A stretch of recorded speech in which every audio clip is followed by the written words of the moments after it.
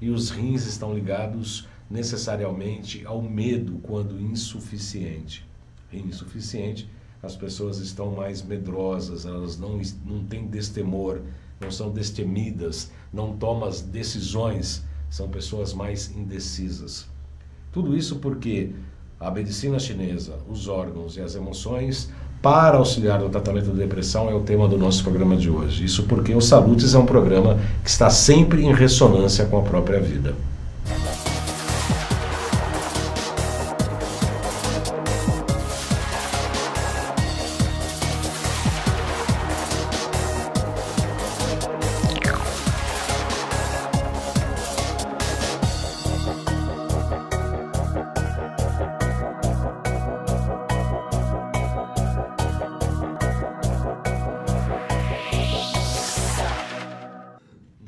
Programa de hoje vai dar continuidade a dois programas atrás, né?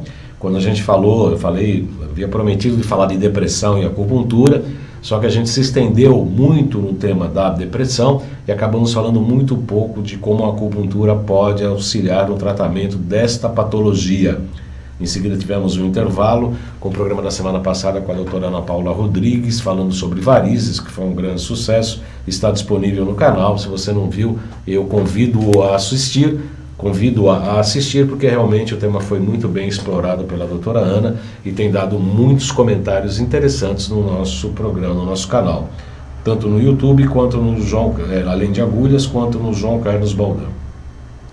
E a gente sabe que depressão é um assunto muito sério. A gente começou a tratar desse assunto, que foi um, impacto em 11 de agosto de 2014. Para mim foi um grande impacto. Que um ator que eu sempre é, é, reverenciei, sempre gostei muito, que era o Robin Williams, sobretudo por, por seus vários filmes que, que ele participou de muito boa reflexão, inclusive Sociedade dos Poetas Mortos.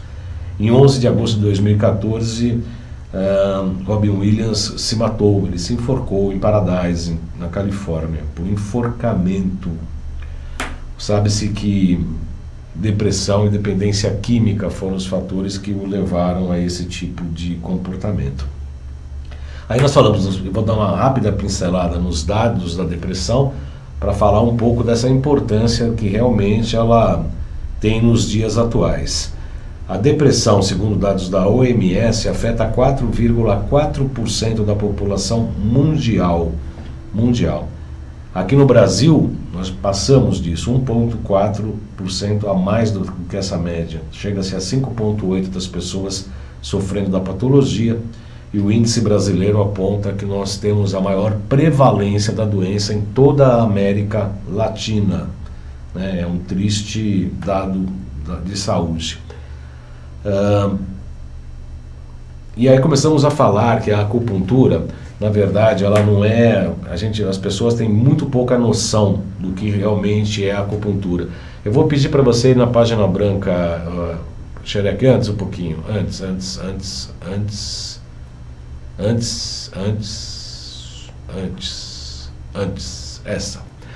Essa, essa, esse slide, o Xereque está pilotando lá os nossos slides para gente pessoal pensa que a acupuntura é isso, né? Remédio para enxaqueca, para tirar dor na coluna, para pressão alta, para diabetes, tireoide, remédio para memória, né? As pessoas se limitam achando que a acupuntura é isso, mas na verdade não. Próxima slide, Xerec, por gentileza. A acupuntura tem, é uma medicina ancestral. Xerec. O próximo.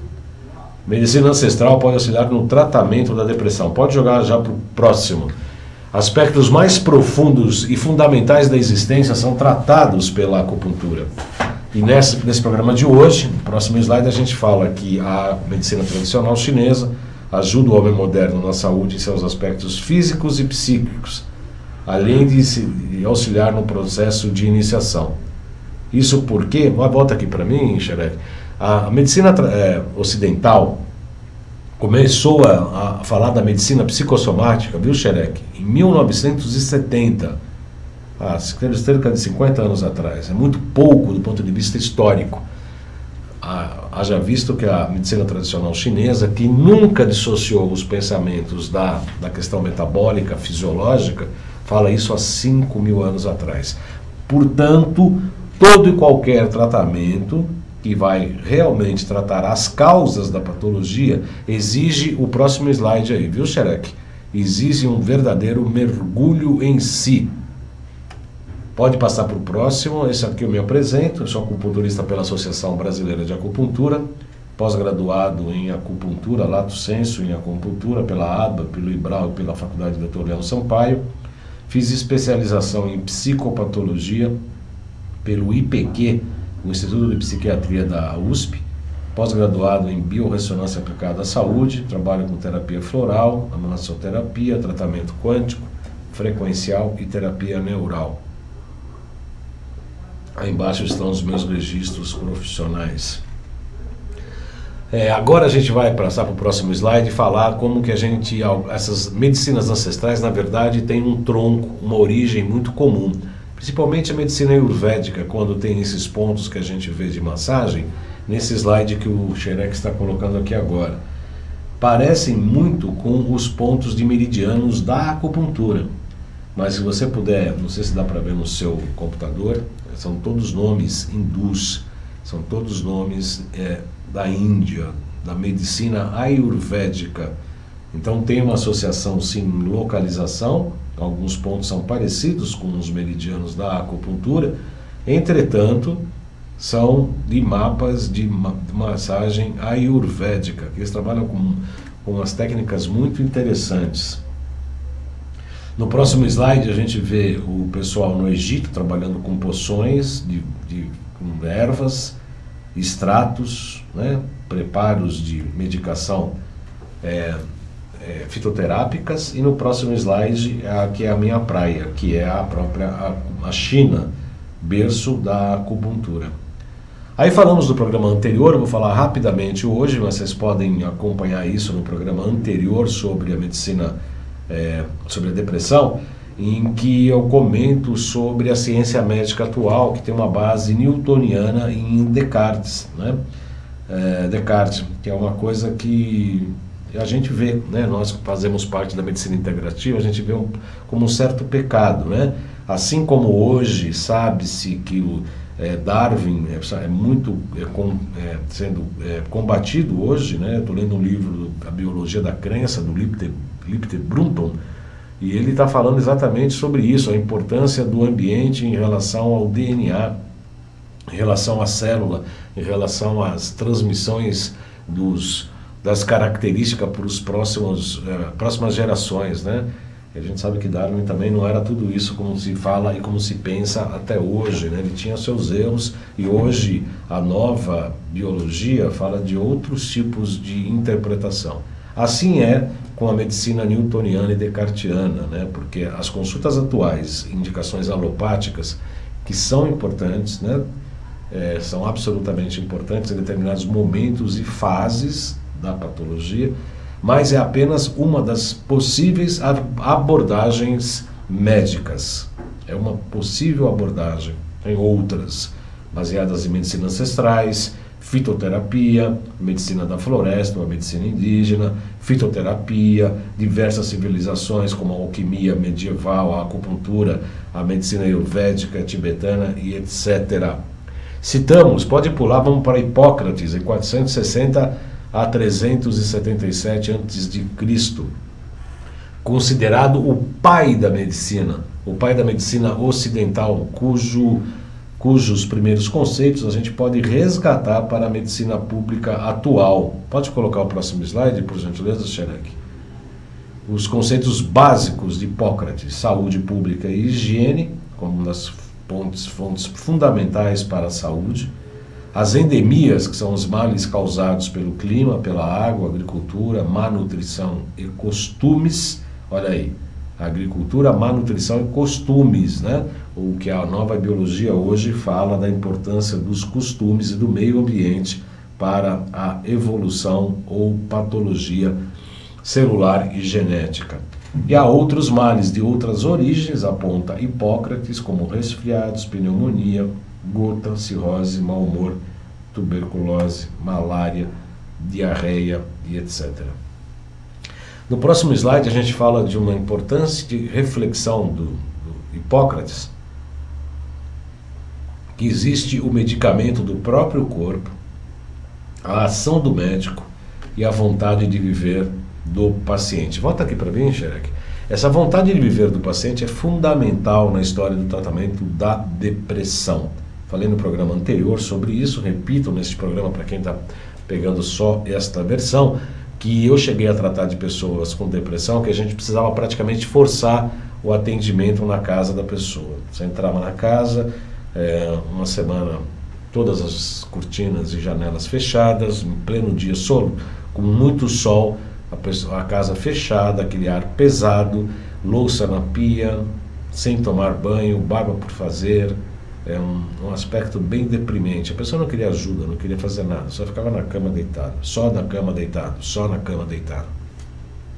E o Hipócrates já falava da importância da vontade de viver do paciente. Isso também é importante para orientar as famílias né, e os parentes, as pessoas próximas das pessoas que são acometidas por depressão. Depressão não é frescura, depressão não é falta de vontade, por, por falta de vontade. É falta de vontade, sim, mas é uma falta de vontade patológica. Né? Tem uns aspectos neurais importantes, é uma patologia, a pessoa está doente né? e tem muito preconceito e as pessoas com depressão, assim como as pessoas que têm distúrbios psicológicos, outros, né, como autismo e outros, e outros mais, acabam sendo marginalizados não só na família, como na própria sociedade. Isso tá, tende a melhorar, mas ainda estamos longe do que seja o ideal. Vamos pegar esses itens do Hipócrates e vamos esmiuçar um pouco mais no próximo slide. O medicamento do corpo trabalha com um sistema imune, ou a imunidade, que a própria sabedoria do corpo existe para criar uma homeostase, ou seja, um equilíbrio metabólico, um equilíbrio orgânico. A ação do médico, sim, a gente pode explicar como ah, os medicamentos apontados pelos médicos, as intervenções cirúrgicas, que são importantes, e a metodologia psicoterápica, inclusive, para tratar a depressão. Uma outra coisa importante que Hipócrates sempre defendeu e explicou eram as questões do, dos humores, que são sangue, bile, astrabile e pituita. Lembrando que Hipócrates sempre falava que o equilíbrio é saúde e o desequilíbrio é doença. Volta aqui para mim, Xerec é praticamente um, um, uma, uma visão que a medicina chinesa também tem. Né? Tem o pentagrama com cinco elementos, que veremos há pouco, onde há um equilíbrio de duas forças, de geração e de repressão. Quando há esse equilíbrio, há saúde, quando qualquer uma dessas forças é, é, tem um pouco de prevalência em relação às outras, acontece a doença. O Hipócrates falou, falava isso, equilíbrio, falou isso, equilíbrio é saúde e o desequilíbrio é doença. A alopatia, que surgiu muito recentemente, surgiu para ajudar a natureza pelo processo antagônico, pelo processo contrário, né? em latim, contrarius contrariis curantur, ou seja, o antagonismo como princípio. Essa frase do Hipócrates na próxima slide eu gosto muito. A vida é certa, a arte é longa, a experiência enganosa e o julgamento difícil. Vamos lá para o próximo slide, começar a falar de acupuntura tão rapidamente quanto possível, porque tem muita coisa para a gente falar. O que é acupuntura? É um importante ramo da medicina tradicional chinesa, da MTC, é uma técnica milenar que, ao mesmo tempo, é um dos mais antigos sistemas de cura e manutenção da saúde. Além disso, tem tudo tem tudo para. Espera um pouquinho, tudo para ser utilizado no futuro no Brasil e no mundo. Bota aqui para mim, Xerec, por gentileza. Nós temos mais, algumas perguntas aqui já no nosso. Quem não estiver acompanhando pela UTV pode acompanhar pela página do Facebook, João Carlos Baldan, tá? O baldan.joãocarlos, vocês vão me achar. Uh, a Ana Lotus Flor, olá, João, olá. E faz uma pergunta: como a medicina chinesa vê a depressão e a doença mental? É exatamente isso, toda a tônica do, do nosso trabalho de hoje, viu, Ana Lotus? Nós vamos falar exatamente como é que a medicina tradicional chinesa encara a depressão e como é que ela trata. Né? Tem uma série de distúrbios metabólicos, de de meridianos e tal, e a gente vai ver como que a gente pode tratar, tá ok? Acompanhe. Há 5 mil anos, no próximo slide, nós temos uma figura do Anti, o, o Imperador Amarelo, né? E no próximo slide, a principal obra dele, que o Anti começou a falar com o seu médico, o Kipo, considerando como é que, como é que as coisas funcionavam. É, no origem né, do universo, a Terra é Yin, o céu é Yang, e da, dessas duas energias, o Yin e Yang, uma é a energia, que é o alimento, que é o Yin, e o outro o ar que respiramos, que é o Yang. O objetivo a harmonia e equilíbrio desses dois elementos. Agora volta aqui para mim, Xerec. É, dessas, desse casamento do Yin, do Yang, né, da energia solar, o Yang, da energia Yin, da Terra, desse casamento desses dois, aí surgiram o que a gente chama dos cinco elementos. Aí é a escola dos cinco elementos, famosa na acupuntura, que serve tanto para diagnóstico como para tratamento. Então, nós vamos passar rapidamente sobre os cinco elementos, como eles se relacionam para começar a trabalhar das entidades viscerais, cada órgão, qual a emoção e a consciência de cada entidade visceral. Né? Que aí sim nós vamos começar a falar do tratamento da depressão por intermédio da acupuntura. Então a gente começa estudando, alguns, algumas escolas é, começam por outros elementos, mas eu aprendi a escola mais antiga, né, mais tradicional, ao ponto de a gente afirmar hoje que a acupuntura praticada no Brasil é melhor do que a acupuntura praticada na China. Eu vou repetir, as pessoas podem falar, esse cara é meio louco, né? Não deixamos de ser, mas a acupuntura praticada no Brasil hoje é melhor do que a praticada na China. A gente já falou isso no programa anterior, né, da história da Revolução Comunista na China, em que perseguiu todos os as questões ligadas ao império, ao imperador e chegou até banir em um determinado momento a acupuntura na China. A China na, na China, a acupuntura num determinado momento foi banida, foi proibida de ser praticada na China. A, é, Chiang Kai-shek né, era um dos, um dos que chegaram lá no, no poder por conta de pressão das indústrias farmacêuticas, chegou a proibir o atendimento, a prática da acupuntura na China. Depois voltou, e aí o Lula chinês lá, o Mao Tse Tung, é, com, até com uma intenção mais ou menos nobre, quis colocar a acupuntura no SUS ali para atender todo mundo. E foi nobre, bacana.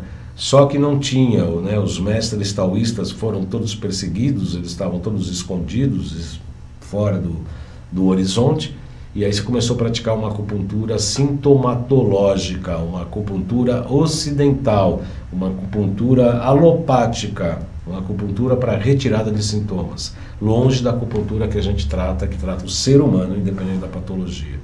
A acupuntura tradicional trata o ser humano e não a patologia.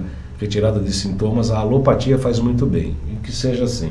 A acupuntura é outra coisa. Quando se atua, atua com a acupuntura para retirada de sintomas, estamos alopatizando a acupuntura, que é a acupuntura hoje praticada na China. Não se pega mais nos pulsos nos hospitais chineses. É, colegas nossos, professores da ABA, onde eu dei aula, inclusive, foram para a China para estudar, acabaram dando aula lá, inclusive. Isso é fato, né? E ainda falavam, não, essas coisas de pegar pulso é muito antigo, não se usa mais, né? Eu atendi recentemente um casal chinês em que eu estava tratando a esposa e quando o marido veio com ela, eu peguei o pulso, ele olhou assustado, falou: "Nossa, você foi para a China?" Eu falei: "Não". Ele falou: "Só na China, em regiões muito distantes das grandes cidades é que ainda se pega impulso para fazer diagnóstico. E a gente faz esse tipo de acupuntura aqui no Brasil. Portanto, a nossa acupuntura brasileira hoje, que veio da escola francesa, é mais tradicional do que a, a atual acupuntura é, na China. A gente pode falar, bom, isso é possível? É sim, é possível. A gente basta lembrar os compositores brasileiros da música popular brasileira, como é, o próprio é, Tom Jobim, né? Vinícius de Moraes, são muito é, é, é Vila Lobos, né? São muito mais conhecidos, reverenciados na França, por exemplo, do que aqui no Brasil, onde que infelizmente hoje os ritmos é, não fazem, tem nada a ver com o que nós já vivenciamos de música popular brasileira, que é uma das melhores músicas do mundo, né, que infelizmente é, não, não tem público aqui no Brasil. Portanto, na escola antiga, começamos pela madeira, Xerec. Madeira é o primeiro elemento, Xerec. É o, o, primeiro elemento é o xereque, é o xereque que precisa acordar de vez em quando. É a madeira. Esse Depois da madeira, a madeira gera o que? O fogo. O fogo, depois de extinto, vira a terra. A terra tem em si, no seu interior, o metal. O metal, quando é, é aquecido, vira líquido, portanto gera água.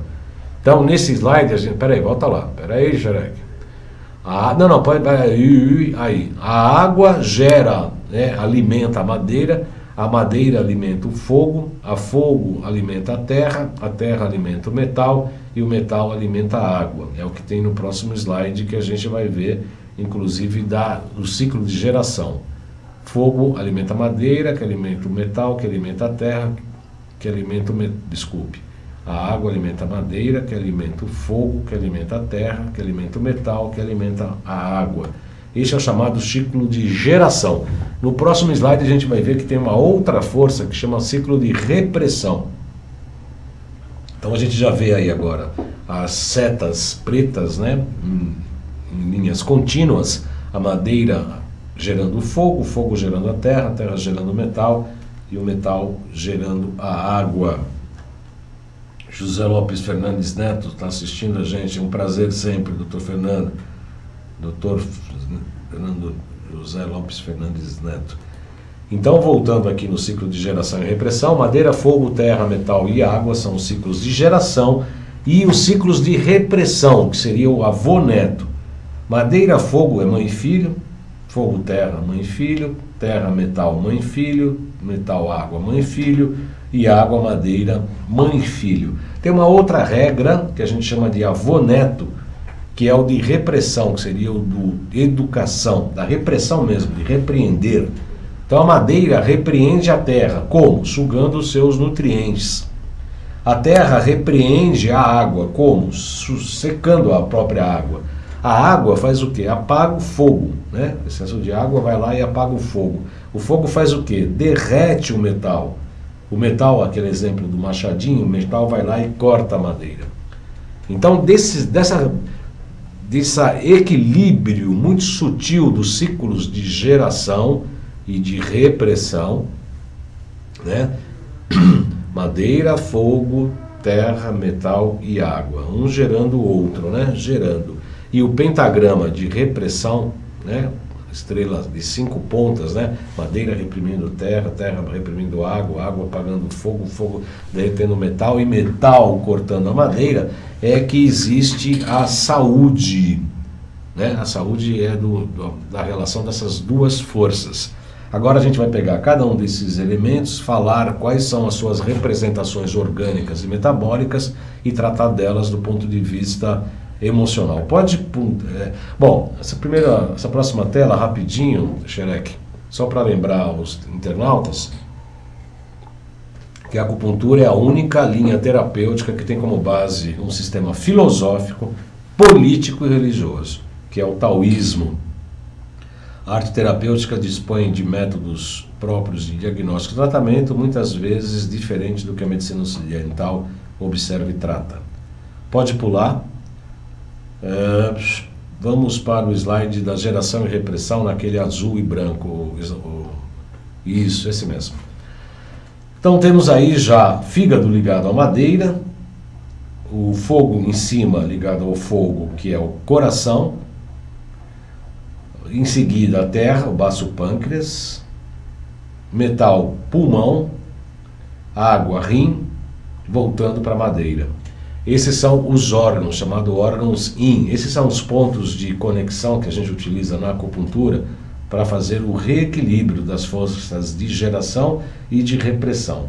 Voltando aqui para mim, Xerec, a madeira, fígado, todo, todo elemento tem um elemento IN, que é um órgão duro que produz a energia e tem uma víscera que faz essa energia circular. Repetindo, o yin gera energia, o yang faz essa energia circular. Então, no caso da madeira, é fígado o yin e o acoplado que a gente chama. Ah, o fígado é o yang, é a vesícula biliar. Fígado, vesícula biliar, elemento madeira, que geram o fogo. Fogo, coração, yin, intestino delgado, face yang do fogo. Vamos para a terra. Para os chineses, o baço pâncreas, são dois órgãos, baço e pâncreas, é um meridiano só, elemento terra, yin. Enquanto que o aspecto yang do baço pâncreas é o estômago, o aspecto digestivo, olhe só. Vamos para o metal, pulmão, aspecto yin, e o aspecto yang, intestino grosso. Pulmão, intestino é yin e intestino grosso yang. Gerando o que? A água, órgão yin, rins, órgão yang, bexiga, que geram a madeira, que é fígado e vesícula biliar. Então, esta, esse ciclo de geração, também pela visão dos órgãos, os médicos, os terapeutas, é importante ter essa visão. Volta esse slide mesmo, Xereca, esse azul e branco, isso.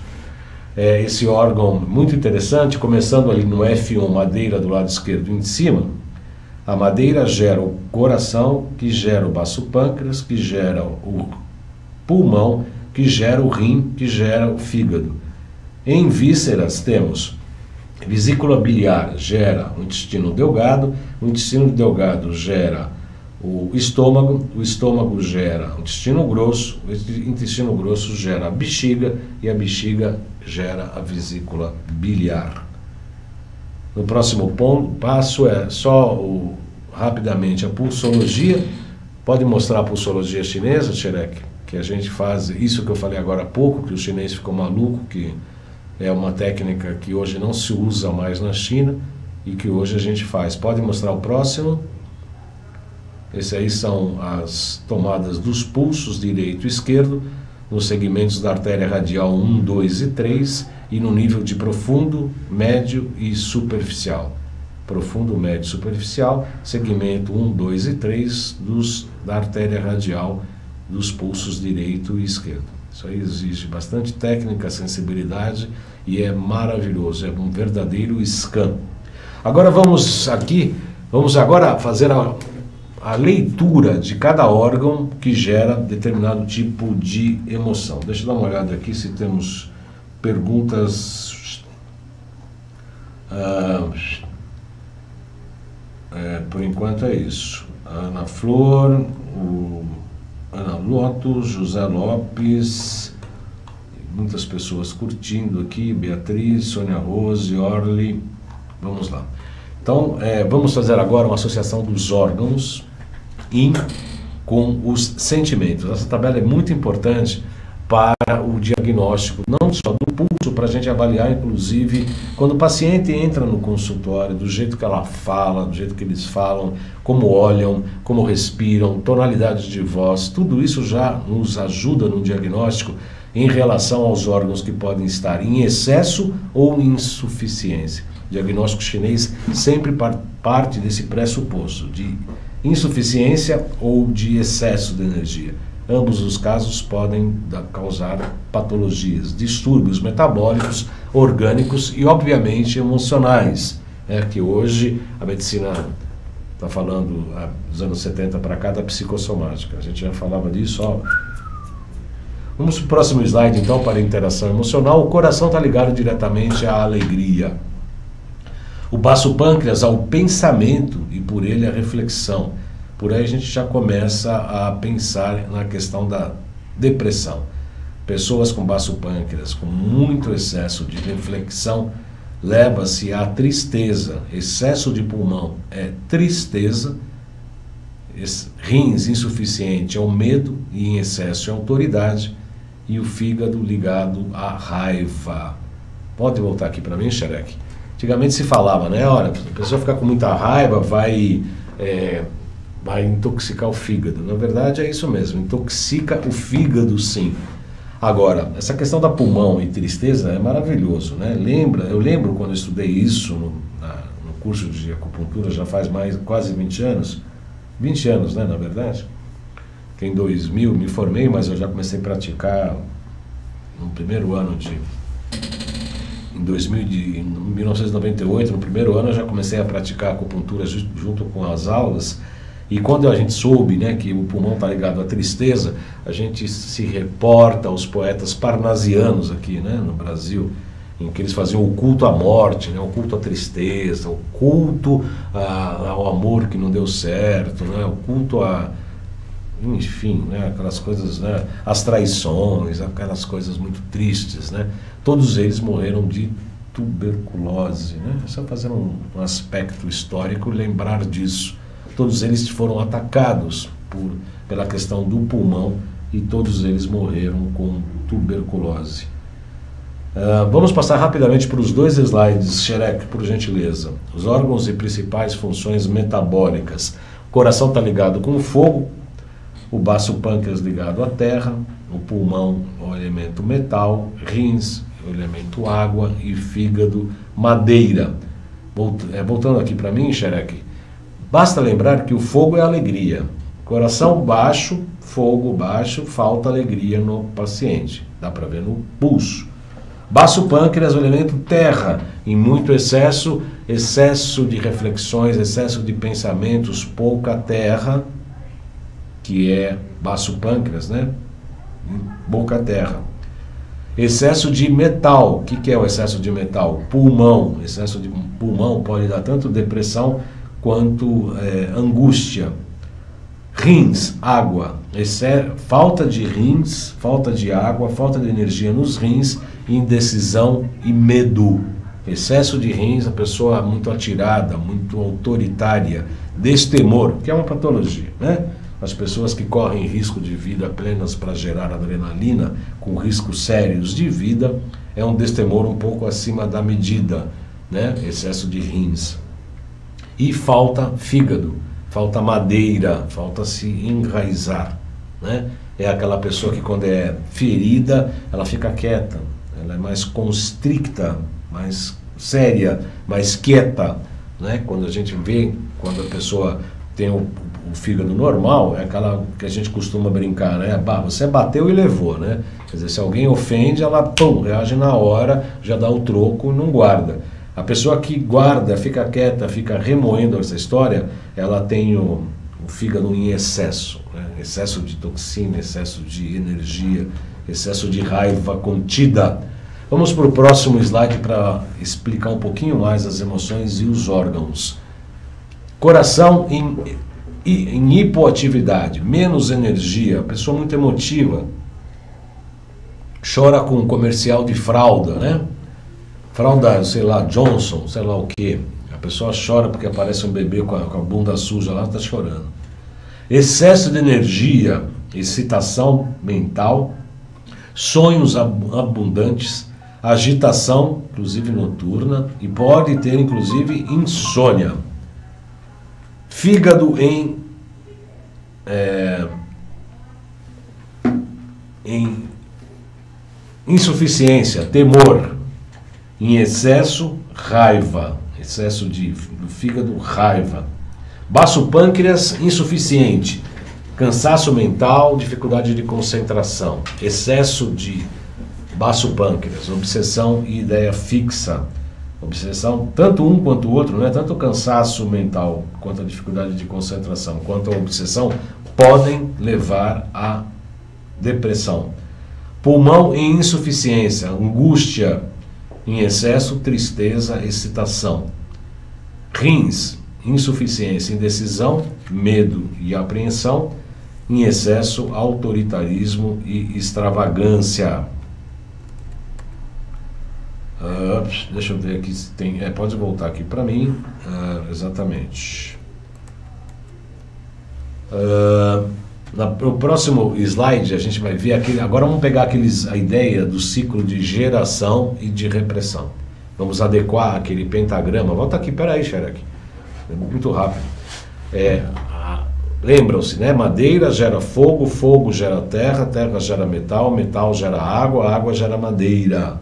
Ciclo de geração. Então, nesse slide, a gente vai ver como é que as emoções também estão relacionadas a esse ciclo de geração. Quando a pessoa vai numa festa, por exemplo, um excesso de alegria, né? depois de muita alegria e tal, as pessoas entram num momento de reflexão. Depois desse momento de reflexão, a, a pessoa começa a entrar no momento de tristeza, porque vê que o mundo, que é, como diz o budismo, pela impermanência de tudo, inclusive da vida, da possibilidade da morte, das coisas não darem certo, enfim, essa reflexão gera tristeza. Essa tristeza geralmente gera um medo, medo da, acabar, medo de, enfim, medo de situações que podem não ser meias obscuras e tal. E esse excesso de medo, quando vai se ficando muito forte, ele gera a raiva. Vamos para esse slide aí, Xerec, ciclo de geração. Então, como eu disse, a alegria vai indo, vai indo, vai indo. Quando ela chega no excesso, ela gera a reflexão, que é o dia depois da festa. Essa reflexão gera a tristeza, a tristeza gera o medo e o medo gera a raiva. Em órgãos, alegria, coração, reflexão, baço pâncreas. Baço pâncreas gera pulmão, pulmão gera rins, rins gera madeira, madeira gera fogo, que é alegria. No próximo slide a gente vai ver o, a, o ciclo de repressão que a gente pode utilizar, inclusive isso para tratar as emoções, né? Como é que você trata a tristeza? Com alegria. Você reprime a tristeza por intermédio da alegria. Como é que você trata a tristeza? Com alegria. Como é que trata a raiva? Com tristeza. A raiva, mediante, reprime a reflexão. A reflexão reprime o medo e o medo reprime a alegria. Você pode perguntar nesse determinado momento, Fala assim, mas como assim? Na é verdade, não é importante ser alegre o tempo todo? Volta aqui, Xerec. Alegre o tempo todo? Sim, sem dúvida nenhuma. É legal você estar tá alegre e feliz. Só que esses cinco, essas cinco emoções fazem parte da personalidade do homem. Então, tem momentos que a gente pode ter esse medo, né? medo de um acidente de, de carro, de avião, medo de, um, de uma operação, enfim, financeira, de uma operação FI, enfim, o medo faz parte. Assim como a raiva também, como a alegria, como a tristeza também. Né? Você não pode ir num, num, num féretro, num enterro, numa situação triste, ficar contando piada, né? achando que é aquela coisa muito alegre e tal, né? aquela coisa do Coringa, do Batman. Né? Não dá, a gente tem que ter é, compostura. Tem momentos que a gente tem que viver a alegria, o medo, a reflexão, a tristeza, a raiva e também a alegria. Agora nós vamos entrar né, no, capítulo das entidades viscerais. Cada órgão ligado necessariamente ao que a gente chama de entidade visceral. E cada entidade visceral tem um nome, com suas próprias características, que vamos ver uma por uma agora. O Shen está ligado ao coração, próximo slide. É uma das funções mais importantes e corresponde ao consciente. Seu domicílio, a sua casa, é o próprio coração e o meridiano é o coração. É uma síntese das outras quatro entidades viscerais, que é o I, que é o baço pâncreas, o PRO, que é o pulmão, o Che ligado ao rim e o RUM ligado ao fígado. O Chen também é chamada inteligência global, é a razão guiada pelos princípios moral e não pelos simples instintos. O I é o próximo slide, que é a próxima entidade visceral, que é associado ao baço pâncreas, ao elemento terra. Portanto, o elemento terra tem a capacidade de armazenar novos conhecimentos, memória, é a faculdade de repetir imagens e informações de que se tem consciência. O baço pâncreas está ligado à concentração do espírito e à faculdade de compreender, portanto, como já falamos, é a reflexão. A memória também é estabelecida a partir das sensações e lembranças. O I é muito dedutivo, ele funciona por intermédio de distinções e analógicas. Estabelece se duas coisas são iguais ou não. Volta para cá, Xerec. Se elas são semelhantes ou diferentes. Baço pâncreas, elemento terra, pensamento, conhecimento, memória. É dedutivo, né? Ele faz analogias, o que, que é parecido, o que, que não é, o que, que são diferentes, e, são, e estabelece se duas coisas são iguais ou não. É o baço pâncreas, é o raciocínio dedutivo, é o pensamento, tá? A gente começa a ver nas pessoas, por intermédio de excessos de insuficiência, essas Características psicológicas. O RUM, que é ligado ao fígado, próximo slide, é o subconsciente, aquela coisa visceral, né? o fígado, instintivo ou coletivo das próprias células. Também é representada pela vitalidade física, oposta à energia mental e moral, que é o Shen, é o coração. O RUM não estabelece diferenças e analogias. As informações para o fígado, para o RUM, são idênticas. Não é guiado pela razão, age nos momentos de urgência e perigo, visceral, como eu te falei, né? Como eu falei há pouco. O I, enquanto o I é reflexão, ele é desconectado, né? É, o RUM age por excitação e reflexo. Ele toma o comando, né? Aquela coisa do é, fica ou, ou, sai correndo, né? Ataca ou, ou defende ou ataca.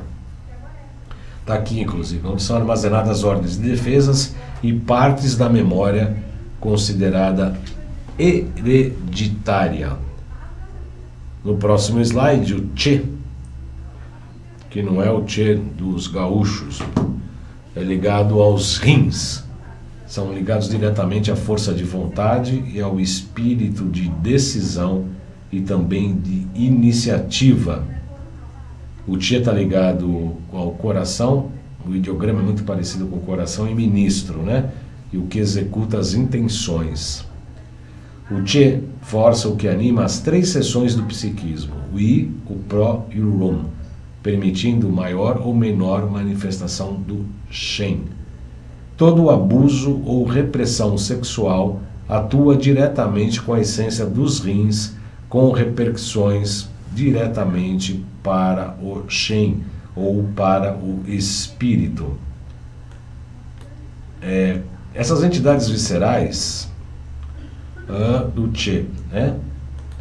As entidades viscerais, elas estão muito ligadas, é como se fossem umas entidades mesmo, por isso que chama entidades viscerais, que é um termo que eu, eu particularmente gosto muito desse termo entidades viscerais, porque é, é, como se fosse uma, é uma entidade como se fosse livre mesmo, uma entidade é, autônoma, né? Cada uma com um tipo de relacionamento psíquico, né? Um é intuitivo e dedutivo, o outro é mais racional, o outro é mais subconsciente, o outro é mais de decisão e tem todos ligados às entidades viscerais com aquelas questões dos órgãos e das emoções. Portanto, quando a gente faz um diagnóstico pela pulsologia, a saber, as insuficiências e excessos de energia, e isso significa excesso e e insuficiência de funções metabólicas, de funcionamento orgânico, a gente consegue perceber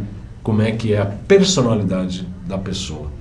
E aí o último é o pró, que é a analogia livre está associado ao inconsciente freudiano. Olha só, o pró, que é ligado ao pulmão, é o inconsciente freudiano. Domicílio aos pulmões, seu ideograma significa brancura e espectro, brancura e espectro. É o que a gente chama, do Jung chama de a sombra, né? É a parte mais obscura e mal iluminada que determina se agiremos ou não, se aceitamos ou rejeitamos algo. É onde são registradas dores físicas, enquanto que as dores emocionais estão no RUM, que é o fígado. Volta aqui para mim, Xerec. Olha só, o pulmão é uma analogia livre, né? Esse inconsciente de Freud, onde ficam aquelas coisas mais mal, bem, nem mal resolvidas e o que bate além do inconsciente freudiano dá para falar um pouco também sobre a sombra do Jung, né? Que são aqueles aspectos que não nos agrada e a gente coloca num determinado compartimento, né, num quartinho escuro dentro da psique. E normalmente ela surge a sombra surge na crítica que se faz aos outros, na crítica que você faz ao seu vizinho, ao seu chefe do trabalho, ao seu colega de profissão, seu chefe, seu amigo, colega de profissão. Ah, aquela pessoa é isso, aquilo, aquilo outro. O Jung falava que para se reconhecer fora determinada característica, você tem que ter a característica no seu mundo interno. E a sombra ela se usa muito dessas chamadas projeções de ver fora os devaneios, as falhas que acontecem dentro da, psico, da psicologia humana. E o pró está muito ligado a isso, ao pulmão, é onde são registradas dores físicas, mais registradas dores físicas, enquanto que as dores mais emocionais estão no fígado. É, Xereca, a gente esqueceu de passar uh, nossos, nossas vinhetas. Temos aí, por favor? Enquanto eu vejo se temos mais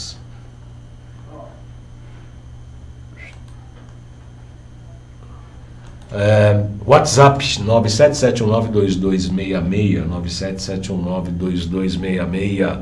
Esse é o telefone para marcar consulta, entrar em contato comigo, marcar consultas para mim, comigo. O outro slide é o site, que eu preciso dar uma atualizada, mas está sendo atualizado, jcbaldan.com.br, está aqui.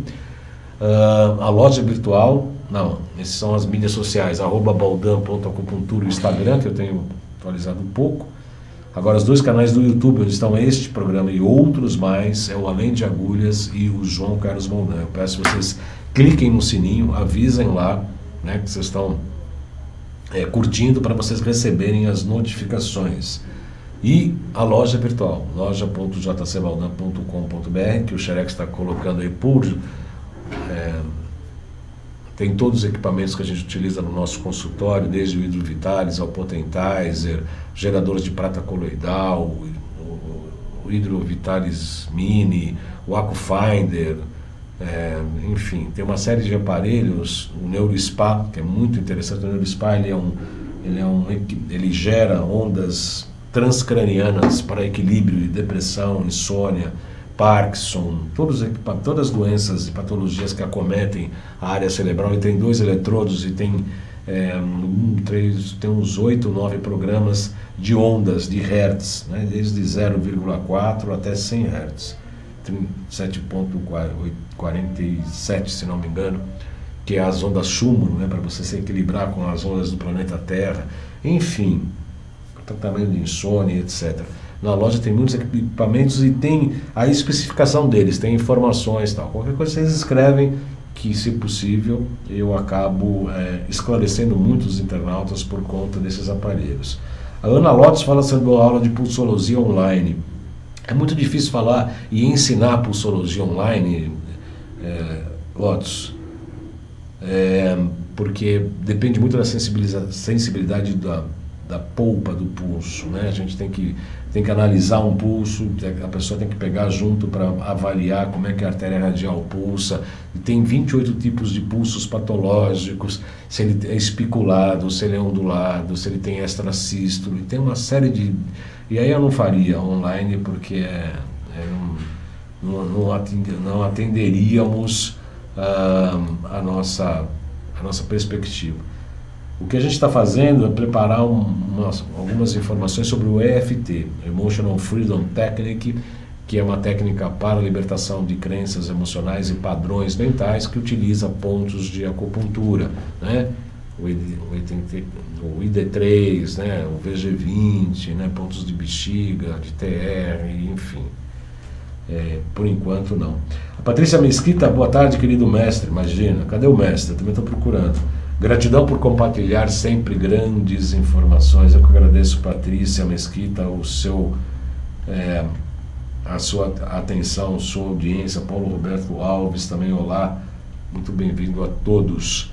É, eu agradeço muito a participação de vocês, a assistência de vocês, na verdade, e na próxima semana nós vamos falar sobre a barra de Axis, um novo sistema que está surgindo agora, há pouco tempo. Surgindo agora não, já surgiu há algum tempo em que trata pontos da, da cabeça para padrões emocionais. É muito interessante porque no curso que estamos fazendo, inclusive neste próximo final de semana lá na Nova Ciência, nós vamos fazer alguns testes com o AcuFinder, que é um aparelho que localiza ponto de acupuntura e dá um estímulo eletromagnético em pontos chamados dessa barra de axis.